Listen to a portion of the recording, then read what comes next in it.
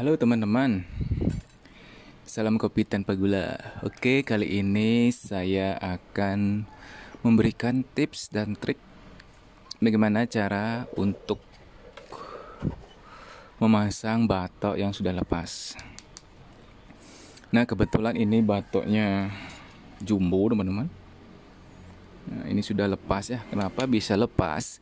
Karena nutrisi dalam batok sudah mulai habis jadi dia otomatis dia akan melepaskan diri dari bonggolnya ini ya. Begitu pula jika dia terlepas ini bisa karena pecah terlalu dini ataupun ada pembusukan, teman-teman. Jadi karena ini sudah hampir tidak isi ya, nah, kita akan ganti batoknya. Hmm. Nah, karena menurut saya jika tidak diisi batok seperti ini dia tampilannya kurang bagus, Kurang unik ya. Hmm.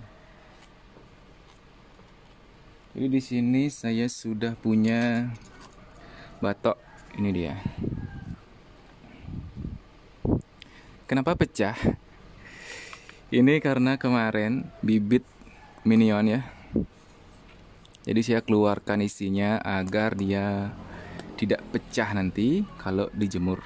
Nah, jadi untuk lebih cepat kita pecahkan sendiri ya. Dilakukan ini dulu pengeleman.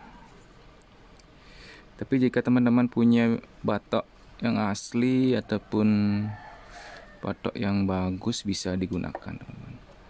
Kebetulan saya ingin menggunakan batok yang kecil seperti ini ya nah, tinggal dilem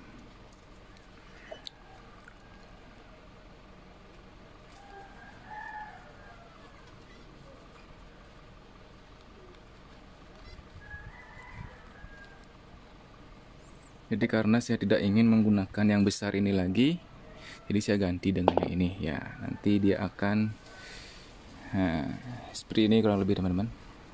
Jadi sisakan sedikit ya sabutnya ya jadi ini berfungsi untuk menyamarkan lem-leman nanti ya hmm. atau seperti ini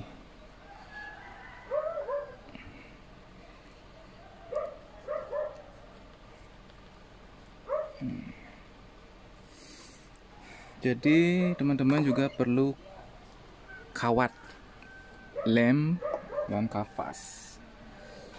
Ini dia kawatnya. Ini kita masukkan di lubang sini teman-teman. Tujuannya adalah untuk memegang ya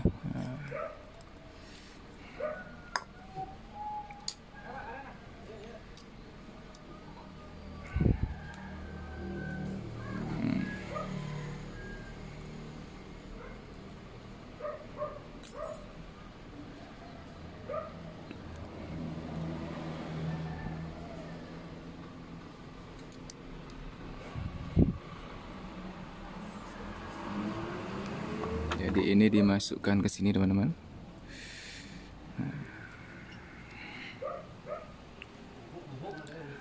Lalu isi kapas sedikit ya. Tujuan isi kapas ini agar lem mau melekat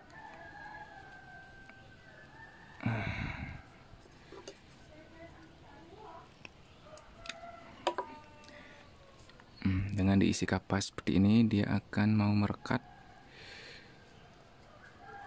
kawatnya itu.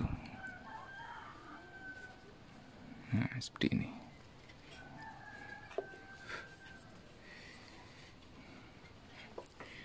Lalu teman-teman pasang saja di sini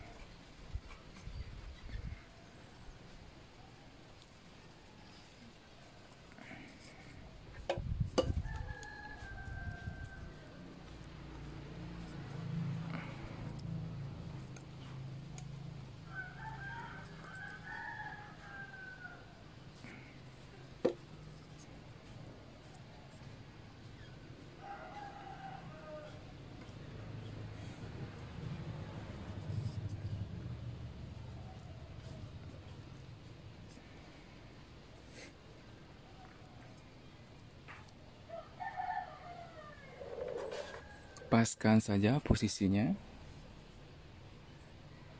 Ada kita balik seperti ini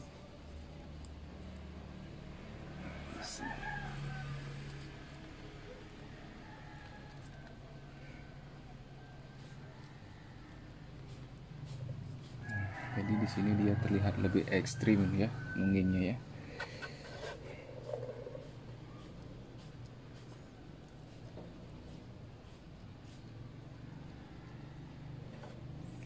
Lalu di bagian dalam diisi kapas juga sebagai pembentuk bonggol.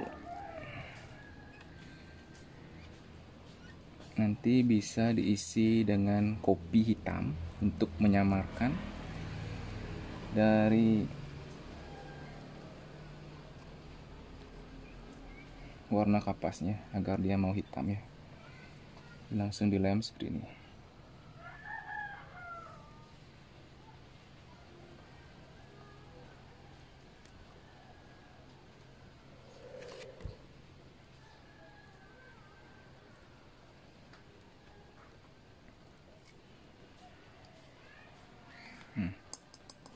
Jadi dia sudah kokoh.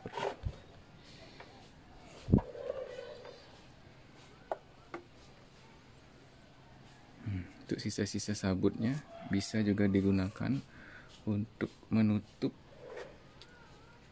di sini teman-teman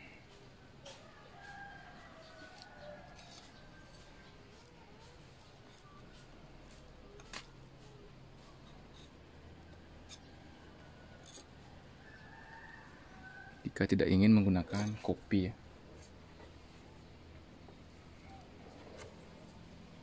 Nah, bisa lem sini.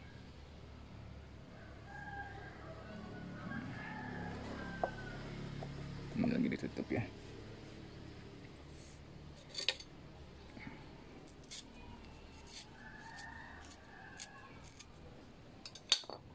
Jadi caranya sangat mudah teman-teman. Hmm. Seperti ini.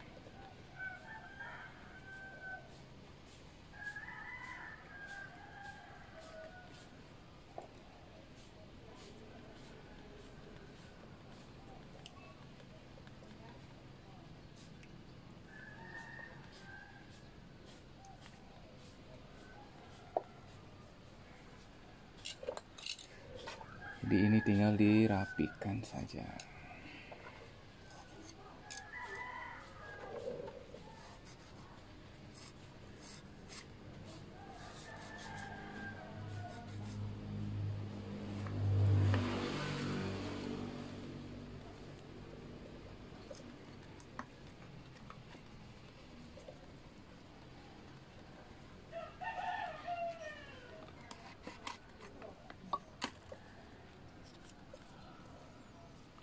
Untuk tahap pemasangan sudah selesai, kita masuk ke tahap pengecatan sekarang. Nah, untuk tahap pengecatan saya gunakan Metalliqua warna gold ya. Jadi ini cat campuran air, teman-teman. Nah, jadi ini aman untuk akar dan batok ya.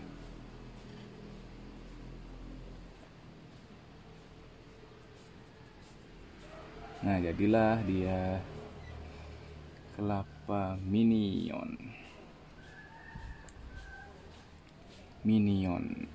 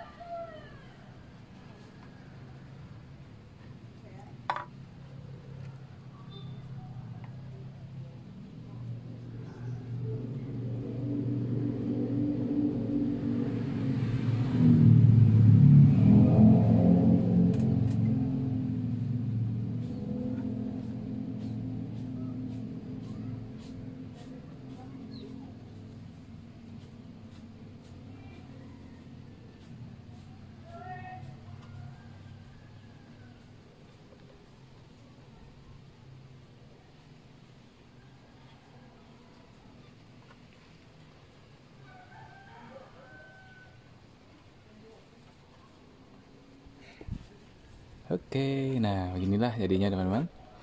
Sangat gampang.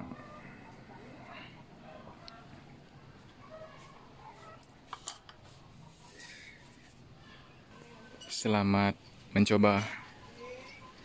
Semoga sukses teman-teman.